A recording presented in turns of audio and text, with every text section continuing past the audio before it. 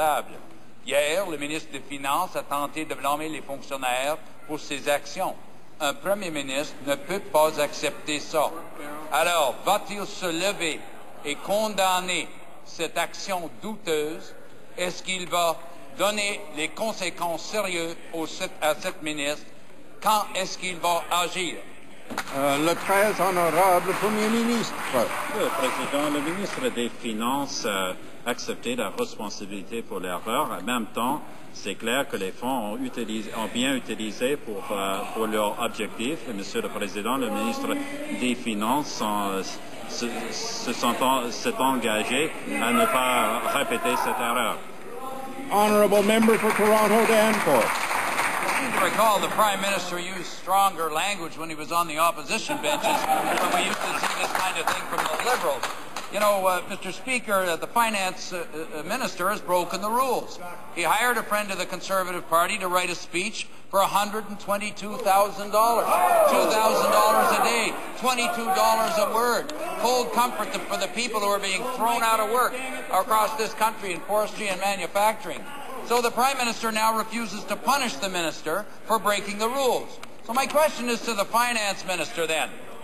Is his friend getting the contract for the 2008 budget? If uh, and basically no no no favors were exchanged. But the liberals aren't buying it. The facts are that Dimitri Soudas, a spokesman for the Prime Minister, intervened on a government file. He ordered senior ministerial staffers, including a chief of staff, to attend meetings designed to influence a $50 million deal. And he did this to help a land developer that a party fundraiser described as, quote, someone who is powerful, who is important for conservative votes and money. Let's summarize this latest scandal the Liberals have dug up. No favors were handed out.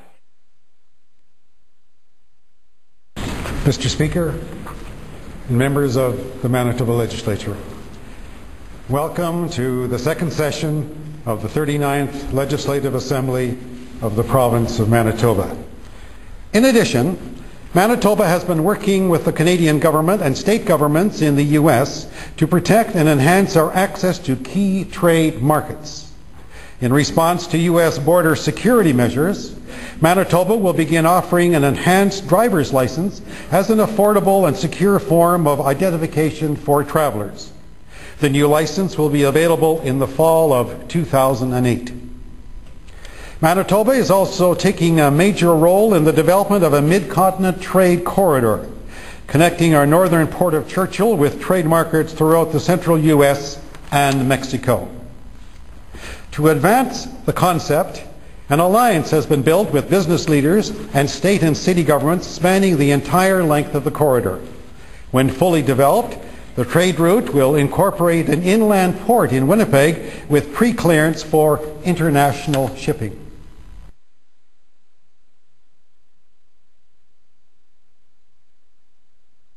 Thank you. As uh, you three leaders meet here, there are a growing number of people in each of your countries who have expressed concern about the Security and Prosperity Partnership. This is addressed to all three of you. Can you say today that this is not a prelude to a North American Union similar to a European Union? Uh, are there plans to build some kind of superhighway connecting all three countries? And do you believe all of these theories about a possible erosion of national identity stem from a lack of transparency from this partnership? Thank you for. Well, let me begin. I uh, and I guess I've read some things from my opposition in Canada. I'm not sure these are generally expressed concerns, but a couple of my opposition leaders have speculated on massive water diversions and uh, uh, superhighways to the continent, maybe interplanetary, I'm not sure as well.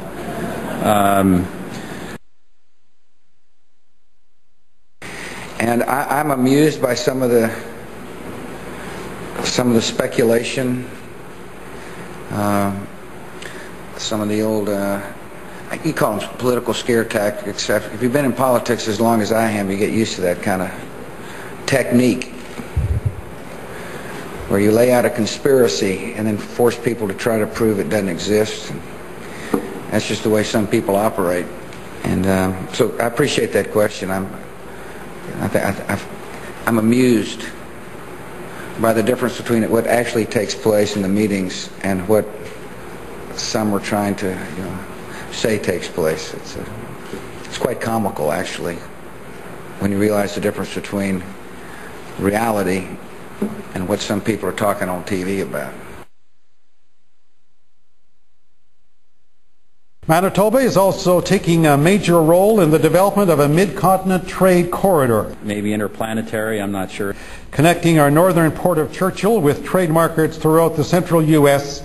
and Mexico. Speculation. An alliance has been built with business leaders and state and city governments spanning the entire length of the corridor. Conspiracy. When fully developed, the trade route will incorporate an inland port in Winnipeg with pre-clearance for international shipping.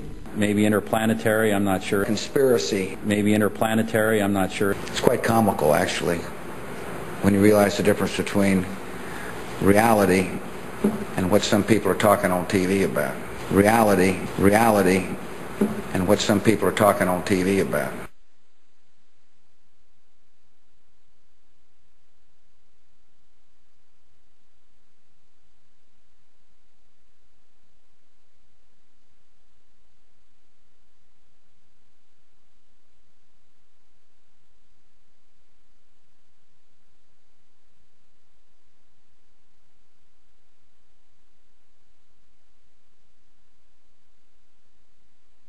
The United States um, is a force for good.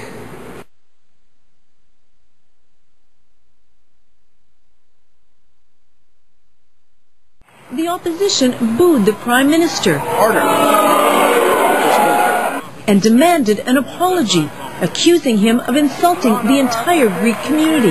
The stand in this House is what I demand, and apologize publicly to each and every Greek Canadian.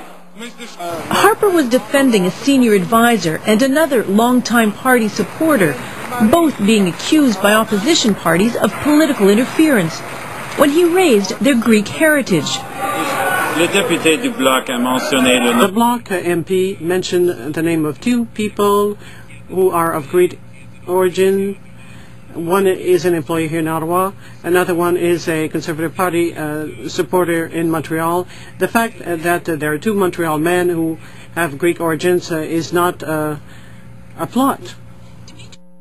Harper's deputy press secretary and advisor on Quebec issues is accused of intervening in a dispute between a Montreal developer and the government over management of two federal buildings in the national capital region.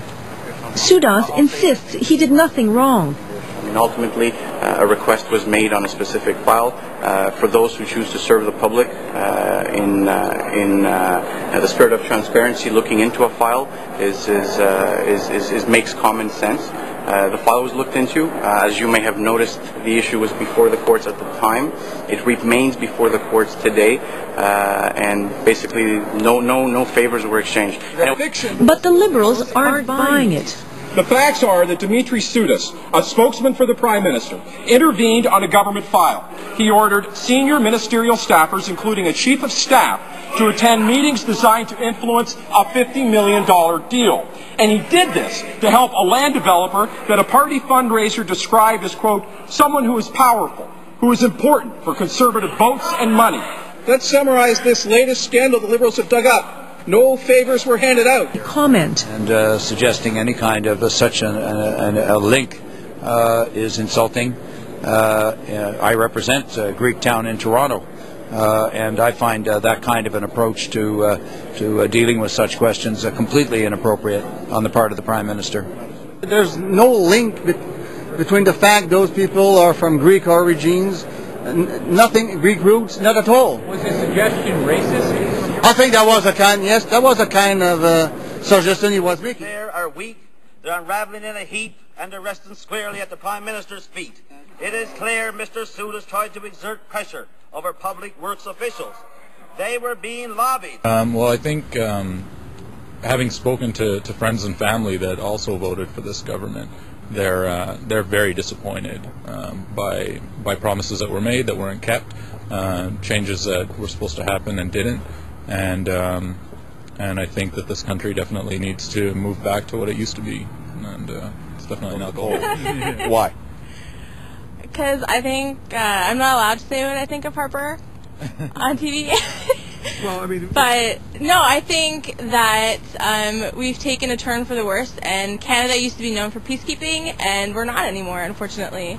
We're just as bad as our friends down under. Like, it's not helping. That's my opinion.